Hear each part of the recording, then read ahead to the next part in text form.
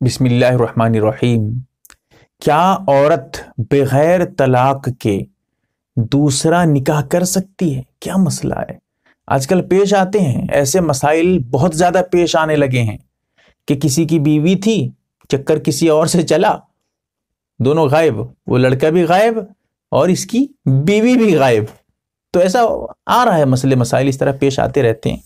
तो क्या इस तरह अगर कोई बगैर तलाक लिए शौहर से अलग हुए बगैर दूसरा निकाह कर लेती है, क्या उसका निकाह हो जाएगा?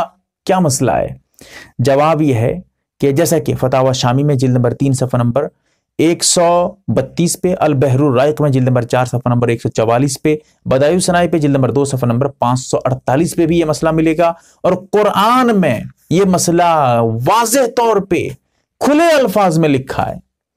कि कुरान ने क्या, कुरान ने क्या कहा, वो समझिएगा। कुरान का यह कहना है, कोई औरत किसी दूसरे की बीवी हो तो तुम उससे निकाह नहीं कर सकते, वो तुम्हारे लिए हराम है। अब समझ लीजिए मसला क्या है। मसला वाजे है, खुल गया मसला। अगर कोई औरत तलाक नहीं लेती है, शादीशुदा है, किसी और के निकाह में है, तलाक नहीं ली है अभी तो दूसरे की बीवी है। कोई औरत अभी खुला नहीं ली है, क्योंकि निकाह को तोड़ने के कई तरीके हैं। खुला के खुला के ज़रिए निकाह को तोड़ सकते हैं, या तलाक के ज़रिए निकाह खत्म हो सकता है, या फिर इंतकाल से, शोहर का इंतकाल हो गया, निकाह खत्म हो गया। तो ये जो है, इंतकाल, फ़ौरन इंतकाल से नहीं, फौर, इंतकाल के बाद जब औरत इद्दत खत्म कर लेगी तो निकाह खत्म हो जाएगा। ये अलग मसला है, ठीक है? इसलिए यहाँ वजाहत कर दिया, वरना फिर आपको धोखा लग जाएगा। तो निकाह के खत्म करने के कई तरीके हैं। अगर वो तरीके नहीं पाए गए हैं, औरत अभी दूसरे की बीवी मौजूद है, दूसरे की बीवी है, लिहाजा दूसरे की बीवी से निकाह हो ही नहीं सकता। निकाह उससे हराम। अगर कोई निकाह कर लेता है, निकाह ही नहीं हुआ भाई। वो तो दूसरे की बीवी अभी भी है। वो तो छोड़ा नहीं है उसे। उसे तलाक नहीं दिया है। या कोई और अभी मरा नहीं है, वो तो ज़िंदा है।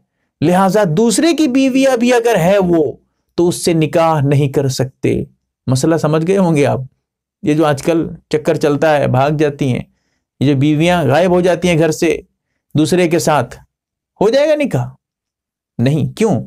क्योंकि ये तो छोड़ा नहीं है। अभी जो शोहर इसका असल शोहर था, ये असल शोहर जो है, इसे छोड़ा नहीं है। अभी तो उसकी बीवी है वो जब बीवी है, जाके कोर्ट में निकाह करें, या जाके किसी मौलवी मुफ्ती काजी के पास निकाह करें, या कहीं और छुप के निकाह करें, चाहे जितना मेहर रख दें, चाहे जितनी मरतबा जाबो कबूल कर लें, निकाह ही नहीं होगा। और इस्लामी हुकूमत हो तो मामला गड़बड़ हो जाएगा। जिना की बात आ जाएगी फिर। ये एक अलग मसला है बहर कैफ अल्लाह ताला हमें समझने की तौफीक दे। आप देख रहे हैं यम ए आर बी दीनी मालूम यूट्यूब चैनल। चैनल को सब्सक्राइब करें, वीडियो को लाइक और शेयर करें। फेसबुक ट्विटर इंस्टाग्राम और टेलीग्राम पर आप हमें फॉलो कर सकते हैं। हमारी वीडियोस आप अपने चैनल पर डाल सकते हैं। हमारी तरफ़ से इजाज़त है। हमारे साथ व्हाट्सएप पर जुड़ने के लिए आप अपने व्हाट्सएप से अपना नाम और फुल एड्रेस के साथ ऐड लिखकर हमारे व्हाट्सएप नंबर एट को मैसेज करें। और हमारा काम पसंद आए तो गूगल पे फ़ोन पे या बैंक अकाउंट के ज़रिए मदद कर सकते हैं।